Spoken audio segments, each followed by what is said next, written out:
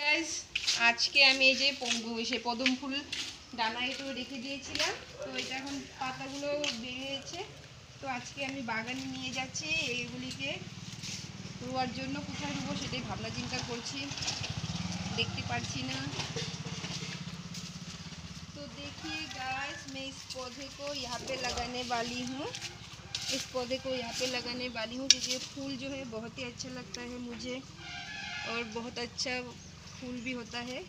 तो चलिए मैं यहाँ पे लगा देती हूँ इस पौधे को। एक पौधा यहाँ पे लगाऊँगी और दूसरा पीछे लगाऊँगी।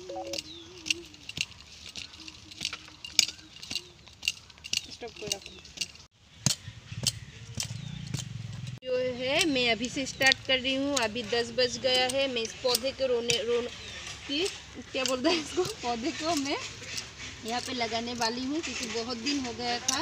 इस पौधे को मैं पानी में रखा था। तो अभी ये पौधे लगाने का टाइम हो गया है। इसलिए मैं यहाँ पे इसको लगा दूँगी अच्छी तरह से।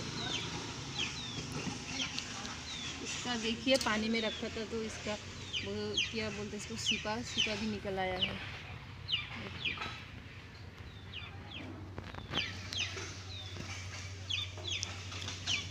तो ऐसे जो लोटस का डाली होता है, इसे लगाने में नहीं होता है। इसको एक महीने, दो महीने पानी में रखने के बाद उसका जो नया पत्ता निकल आता है, उसके बाद उसको लगाना पड़ता है, तभी अच्छा होता है।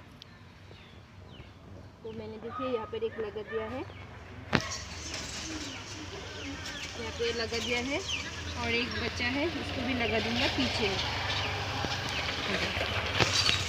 तो देखिए, एक मैंने पहले घर के आगे लगा दिया है और एक पीछे में लगाने वाली हूँ। तो यहाँ पे ज़्यादा सख्त है माटी क्योंकि यहाँ पे आम पेड़ आम का पेड़ है और देखिए, हम लोगों का पाइन का पेड़ है बहुत सारा। देखिए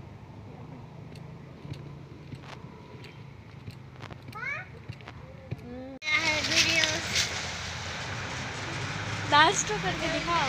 अच्छी तरह से हो हो गया है इसका पत्ता। तो अभी इसमें माटी में मैं लगा दूँगा।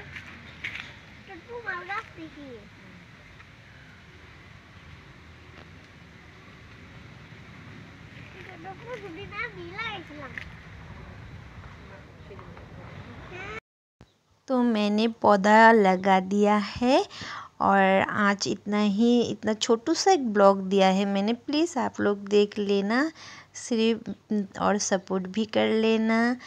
तो मैंने आज लोटस का पौधा लगाया है घर के बाहर और घर के पीछे। जब ये फूलेगा फूल हो जाएगा, तब मैं आप लोगों को दिखाऊँगी गाइस तो आप लोग सब अच्छे रहिए और ठीक रहिए और मुझे सपोर्ट करते रहिए। Tata bye bye